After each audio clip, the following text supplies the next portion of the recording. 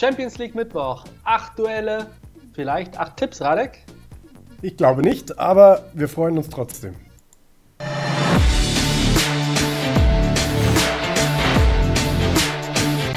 Ich meine, tippen kann man immer, aber ob man dann drauf wettet, das ist eine andere Sache. Da sollte man sich ja vielleicht ein bisschen zurückhalten. Gerade wenn es in so enger Phase dann um so viel geht, da kann ja auch dann viel passieren und manche wachsen über sich hinaus. Charaktertest, Mentalität und, und, und. Bei Ajax Amsterdam gegen Bergamo ist das genau der Fall. Hinspiel 2 zu 2. Und eigentlich könnte Bergamo mehr oder weniger locker in dieses Gruppenfinale gehen, aber da haben sie sich selbst den Weg ein bisschen verbaut im Spiel gegen die Dänen. Ja und nein, wenn wir uns auf die Tabelle mal konzentrieren, äh, Bergamo mit äh, 10 Punkten wären sie dann auch nicht äh, weg gewesen, denn wenn Ajax das Spiel gewinnt, ist Bergamo draußen. Wenn das Spiel unentschieden geht, dann ist Bergamo so oder so äh, in der nächsten Runde, bei einem Sieg sowieso. Das heißt, die peinliche Vorstellung vom letzten Champions League Spieltag spielt fürs große Ganze gar keine Rolle. Liverpool bereits weiter. Und hier muss man sich halt überlegen, Liverpool, äh, wie gut ist Ajax, wie können sie performen in diesem Spiel. Ich persönlich finde Amsterdam besser als Bergamo, aber es ist eine junge Truppe. Klar, sie haben unseren Ex-Bremer Klaassen, der diese junge Truppe anführen kann, der Leadership Mentalität zeigen kann. Und deshalb hoffe ich auf einen Sieg von Ajax, aber spricht schon sehr, sehr viel für einiges an Toren und nun entschieden. Mhm. Ich kann mich hier auch nicht wirklich entscheiden, wen ich hier jetzt äh, bevorzuge. Also sympathietechnisch bin ich da ganz bei Ajax, aber ähm, ja, was die, äh, den Ausgang des Spieles betrifft, ähm, ja, kann alles passieren. Äh, bei den Toren glaube ich jetzt auch, dass es keine gute Wette ist, wenn man auf Over 3 keine Zweierquote bekommt, ähm, lasse ich in der Regel die Finger davon und von daher ist das hier ein Spiel mit zu vielen Möglichkeiten und daher ist das zum Wetten in meinen Augen keine so starke Sache. Liverpool spielt in Dänemark. Hier hätte es ja fast das Wiedersehen Klopp und Dortmund gegeben, denn Dänemark war auf der Blacklist der Engländer. Äh, jetzt nicht mehr. Corona anscheinend wieder alles in Ordnung. Äh, sie können frei aufspielen wie eh und je beide Teams. Es geht für beide Teams um gar nichts mehr. Viel spricht trotzdem dafür, dass sich die Klasse von Liverpool durchsetzen wird. Die Quoten, die sind natürlich heftig. Das ist auch klar, warum denn Liverpool, gerade mit Klopp, der ja Woche für Woche sagt, wie heftig die Belastung ist, der wird wahrscheinlich seine U18-Spieler oder so auflaufen lassen, wenn er dürfte.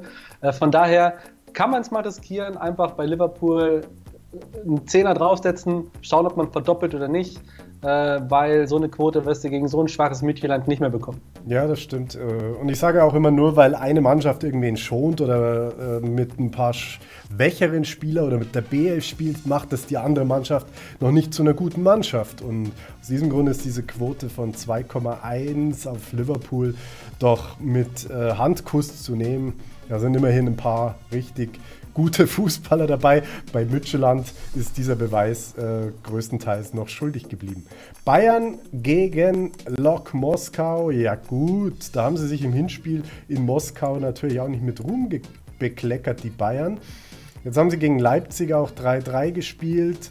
Ähm, sind, ob das so viel Kraft gekostet hat, dass sie jetzt hier gegen Moskau wiederum äh, ein bisschen Ach so, 2-1 gewonnen in Moskau, habe ich jetzt irgendwie als Unentschieden abgespeichert. Weiß auch nicht warum, weil ich der Unentschieden-Typ bin.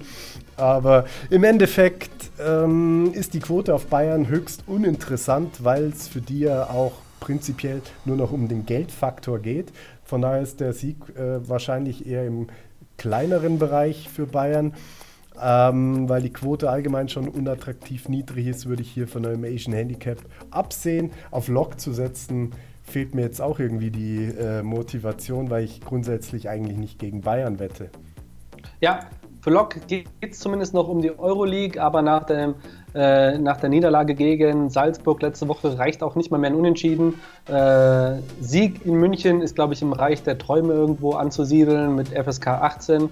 Das andere Spiel ist äußerst äh, interessanter. Bayern letzte Woche schon mit einer, in Anführungsstrichen, B11 in oder bei Atletico Madrid erfolgreiches Unentschieden geholt. Von daher, lass uns doch zum anderen Gruppenspiel gehen, denn da können die Red Bullen aus, äh, oder Roten Bullen aus Salzburg hört sich besser an, nämlich noch ins Champions League Achtelfinale kommen. Mhm. Dank Thomas Müller, der den Ausgleich erzielt hat bei Atletico, würde jetzt ein Sieg reichen. Wer zehn Tore in der Gruppenphase schießt, hätte das doch auch verdient. Und Atletico spielt nicht so von den Champions League-Auftritten, die wir bisher gesehen haben, wie die Jahre davor. Eher eine enttäuschende Champions League-Saison. Die müssen weiterkommen. Die gehören irgendwie immer ins Achtelfinale. Aber auch im Hinspiel hat Red Bull schon gezeigt, dass sie mithalten kann. Deshalb finde ich, hier auf Übertore zu gehen, wenn die Quote passt, oder sogar auf einen 1x zu setzen, gar nicht mal so verkehrt, weil ich gönn's ihm. Ja gut, du gönnst es ihnen schön für, für die Salzburger, da werden sie jetzt ausflippen, aber auf der anderen Seite ähm, 1x gegen Atletico zu setzen, da würde ich mal widersprechen, heftigst sogar, weil Atletico mit einer 2,25er Quote echt eine gute Quote hat, die wesentlich massivere Erfahrung, die in solchen krassen Spielen eine sehr wichtige Komponente ist und natürlich einen Trainer, der ähm, solche Situationen als Spieler und als Trainer schon mehrfach erlebt hat. Klar, die jungen Wilden gegen die alten Säcke, kann, kann man vielleicht sagen. Ähm, aber Tore, ja, why not? Ich meine, da kriegst du eine Quote von 2,14, dass mehr als drei Tore fallen, bei drei Toren dann Geld zurück. Das ist okay, könnte man machen die Salzburger mit äh, 25 Toren in fünf Spielen, im Schnitt fünf Tore pro Spiel. Da könnte man auch sagen, über 4,5 Tore bei einer Quote von 5, aber das war jetzt eher so ein bisschen äh, spaßig gemeint, egal. Ähm, ich würde in der Tat auf Atletico-Sieg setzen, weil, wie ich gesagt habe, die Mannschaft einfach ins Achtelfinale gehört und ja. ich jetzt nicht von einer Salzburger Überraschung ausgehe. Aber die Wette auf Tore, ich glaube, da können wir uns besser einigen. Ich denke auch, die Wette auf Tore, die ist es. Äh, die Quote von 2,25 auf Madrid kann man auch absolut mitnehmen. Ganz interessantes Spiel, in dem jeder einzelne Tipp absolut viel Sinn macht. Mhm. Dann kommen wir zur anderen Todesgruppe, hier mit Inter Mailand, Schachtja Donetsk, Real Madrid und Borussia Mönchengladbach. Also hier muss man sich ja wirklich die Tabellensituation vor diesem letzten Spieltag äh, nochmal auf der Zunge zergehen lassen. Borussia Mönchengladbach ist Tabellenführer vor Schachtja Donetsk, dann kommt Real Madrid, das es einfach nicht geschafft hat, Schachtja Donetsk zu besiegen, während Gladbach den einfach mal so zehn Tore reingeballert hat. Und Inter Mailand, die ja auch einen wirklich ähm, namhaften Kader haben und viel Geld dafür investiert haben, die sind hier nur äh, Vierter mit fünf Punkten. Das ist mal die Ausgangslage und jetzt geht es hier wirklich um ja, die Wurst. Also, dass Inter zu Hause gegen Donetsk gewinnen kann und muss, sollte schon mal die Nummer eins sein. Jetzt ist die Frage, was für eine Quote gibt es drauf? Ich hätte gesagt, wenn man eine 2-1 oder 2-2 auf Inter bekommt, dann würde ich es nehmen. Bei einer 1-33 würde ich sagen, ja, da, da, da setzen die Leute auf den Namen Inter Mailand und die Buchmacher äh, geben ihnen dafür dann die Quittung in Form einer lächerlich niedrigen Quote. Sieg möglich, klar, Quote, no value. Auf Donetsk zu setzen, würde ich aber hier natürlich auch nicht machen. Nee, man könnte überlegen, was ist Asian Handicap Plus? Donetsk hat ja gegen Inter, aber auch gegen Real Madrid sehr gut mitgehalten und 10 Tore von Borussia Mönchengladbach gekommen. Aber plus 1,5 reicht mir hier auch nicht für die Wette. Plus 2 ist die Quote zu schwach. Also ich glaube, wenn Gladbach weiterkommt, dann liegt es daran, dass Donetsk äh, nicht in Mailand verliert. Und äh, in dieser Gruppe muss man als Fan einfach nur hoffen, wenn man Fan einer deutschen Mannschaft ist oder sagt, der Borusse soll einfach weiterkommen. Ne? Ja, oder der deutsche Fußball muss weiterkommen für den UEFA-Koeffizienten und die äh, ja. Champions League-Startplätze und so weiter. Aber klar, ich denke, hier äh, gibt es wenige in Deutschland, die sagen, ich hasse Gladbach, vielleicht ein paar Kölner. Ähm, ansonsten denke ich, die meisten äh, wären glücklich drüber, wenn Gladbach das schaffen könnte. Ähm, sie müssen gegen Real Madrid hier aber schon eine, ja, eine Sahnevorstellung zeigen, wie sie es in der, der, letzten Zeit ja öfter geschafft haben. Aber da ist der Druck natürlich jetzt massiv. Ja, Millimeter haben ja gefehlt äh, zum Unentschieden gegen Inter Mailand. dann wären sie schon eine Runde weiter gewesen. Leider, leider, leider. Das Schöne ist bei diesem Spiel, normalerweise sollte ein Unentschieden reichen, denn Inter wird ja wahrscheinlich gegen Donetsk gewinnen und das würde bedeuten, Real und Gladbach unentschieden, beide sind weiter. Wegen direkter Vergleich und so. Und das glaube ich aber auch nicht, dass es passieren wird. Äh, ich glaube wirklich, dass Gladbach,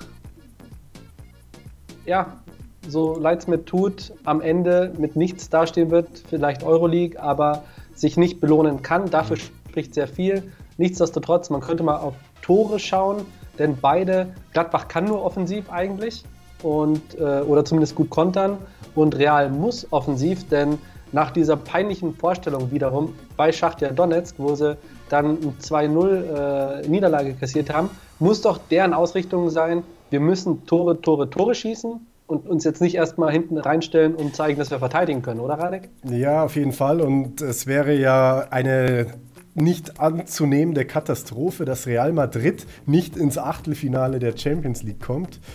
Daher äh, müssen die alles dran setzen, mehr als drei Tore bei einer Quote von 1,93 finde ich gut. Gehe auch äh, natürlich von einem Real-Sieg aus. Hoffe, Gladbach kann es aber spannend machen. Im Endeffekt über drei Tore, glaube ich, kann jeder gut mitgehen, weil er sich auf ein Spiel mit Toren freut. Und dass hier jetzt äh, taktiert wird und es ein knapper Sieg wird, kann sein, aber dass wenig Tore fallen, glaube ich jetzt eher weniger. Und damit hätten wir nur noch die langweiligste Gruppe in dieser Champions League Gruppenphase. Und da ist Man City ganz weit vorne, habe noch keine Niederlage. Letzte Woche gegen Porto dann mal unentschieden gespielt, ein Gegentor ist kassiert, zehn geschossen.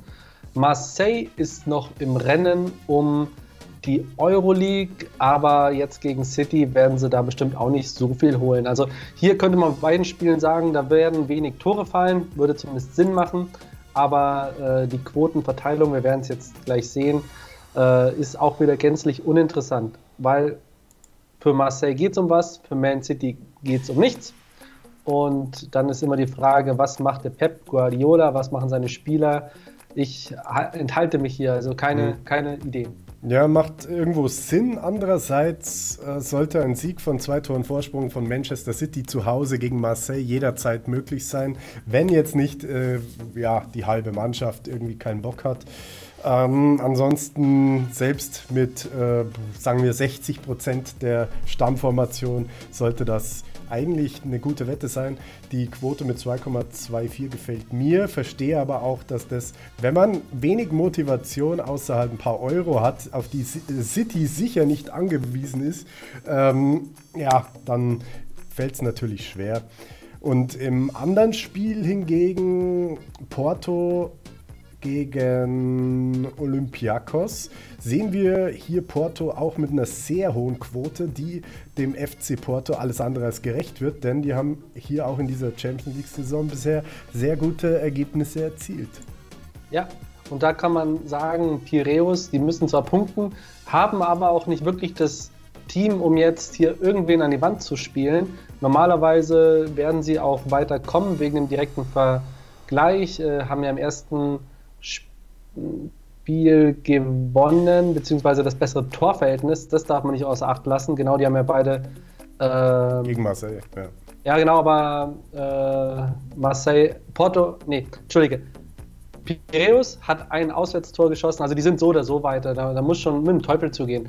Man könnte jetzt hier in X2 auf Porto gehen, denn die sind an sich äh, das bessere Team, haben eine gute Defensive, Piraeus hat keine gute Offensive Und äh, auch wenn ich jetzt nicht, äh, so ehrlich muss man sein, mich mit den finanziellen Möglichkeiten von Porto auskenne, da ist wahrscheinlich so die ein oder andere Millionchen auf dem Konto entscheidender als bei Man City. Definitiv, äh, wobei der Ansatz von Porto ist ja ganz klar, Spieler entwickeln und äh, für utopisch viel Geld an irgendwelche superreichen Vereine abzugeben. Das ist ja auch sehr erfolgreich und nichtsdestotrotz Asian Handicap plus 0,5 auf Porto mit 2,11. Äh, rein basierend auf den bisherigen Auftritten von Porto in der Champions League eine Wette, die interessant ist. Damit, Radek, sind wir durch mit der Gruppenphase der Champions League. Wir freuen uns auch auf einen geilen Mittwoch. Wir danken für euren Support, eure Likes zahlreich, auch die vielen Kommentare. Richtig, richtig geil. Und dann sehen wir uns schon wieder am Donnerstag zur Bundesliga-Vorschau. Bis dann.